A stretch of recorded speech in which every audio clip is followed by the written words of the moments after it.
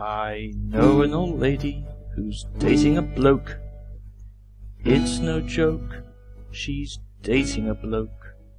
She's dating a bloke as well as a girl, she's dating the girl as well as a guy.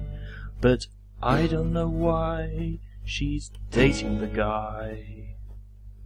Perhaps she's bi.